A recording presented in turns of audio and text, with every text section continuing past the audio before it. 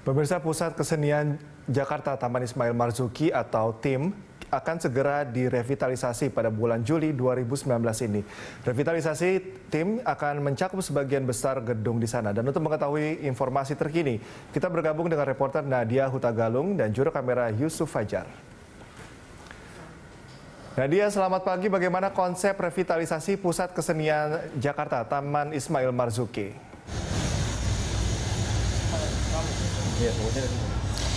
Ya, Cikal dan juga pemirsa, untuk konsepnya, revitalisasi Taman Ismail Marzuki akan uh, dibangun dalam dua tahap. Dan yang sedang berlangsung saat ini merupakan pembangunan tahap pertama, di mana akan dilakukan pembangunan mulai dari depan bagian depan hingga bagian tengah Taman Ismail Marzuki.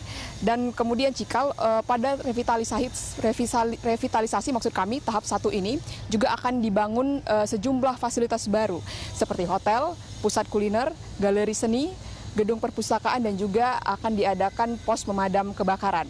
Nah, selain itu juga nantinya akan dibangun lahan terbuka tempat masyarakat berkumpul di bagian depan Taman Ismail Marzuki.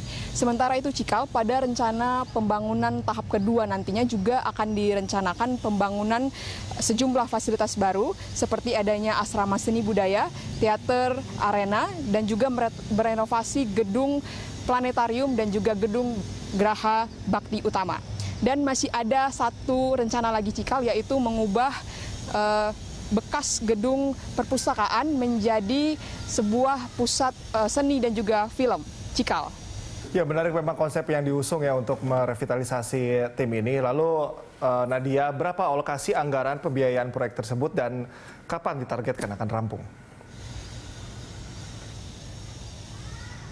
Ya Cikal, jadi uh, revitalisasi Taman Ismail Marzuki ini akan menghabiskan dana sebanyak 1,8 miliar rupiah yang akan didanai oleh APBD DKI sebagai penyertaan modal daerah. Nah selanjutnya Cikal untuk jangka waktu pengerjaan ya, revitalisasi Taman Ismail Marzuki yang dilakukan oleh PT Jakpro ini sudah dimulai secara resmi sejak adanya peletakan batu pertama oleh Gubernur DKI Jakarta Anies Baswedan pada 3 Juli 2019 dan ditargetkan akan segera rampung sekitar pada bulan Juni atau Juli tahun 2021.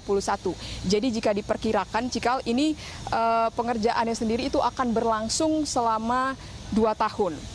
Dan uh, untuk penugasan dari PT Jakarta Properindo atau Jakpro dalam merevitalisasi Taman Ismail Marzuki sendiri itu tertuang dalam peraturan Gubernur nomor 63 tahun 2019.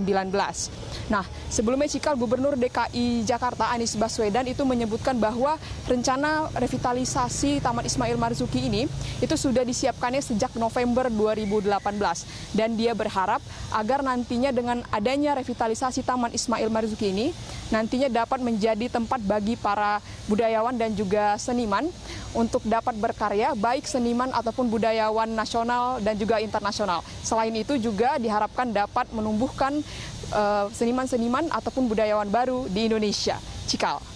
Tentu kita harapkan juga Nadia agar proses revitalisasi ini berjalan dengan lancar sehingga masyarakat bisa secepatnya menikmati dari fasilitas ini. Terima kasih Nadia atas laporan Anda dan selamat bertugas kembali.